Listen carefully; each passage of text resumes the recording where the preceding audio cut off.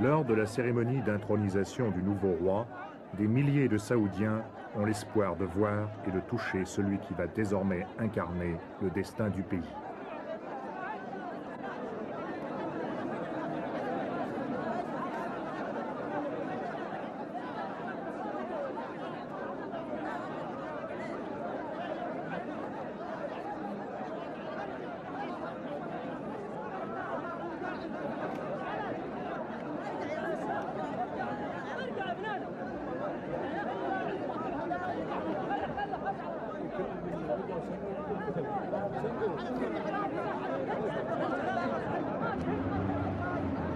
C'est au palais du gouverneur que les dignitaires du régime sont venus saluer le nouveau monarque.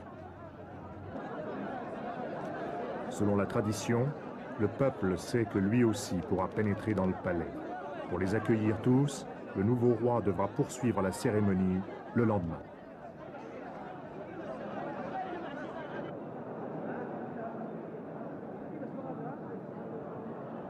À l'intérieur du palais, outre la présence des représentants de la famille royale et des patriarches des plus importantes familles de commerçants du pays, on remarque les chefs de tribus de toutes les régions de l'Arabie.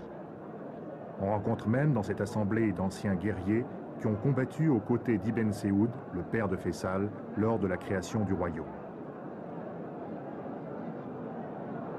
Et le nouveau roi, Khaled Abdulaziz, intronisé en toute simplicité, reçoit dans la bousculade les chefs de tribus qui viennent faire acte d'allégeance.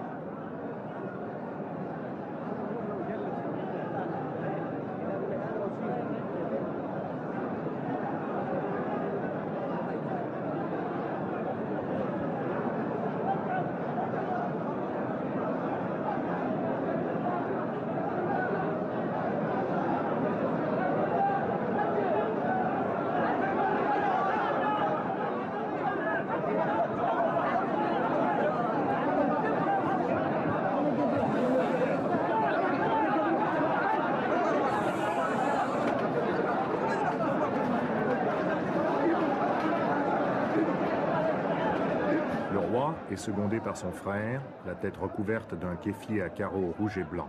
Il s'agit du prince héritier, Fad Ben Abdulaziz, l'homme fort du nouveau régime. Tous les moyens d'information du pays ont réservé dans leurs notes biographiques autant de place au prince héritier qu'au nouveau roi. C'est pourquoi l'on a parlé d'un royaume désormais bicéphale.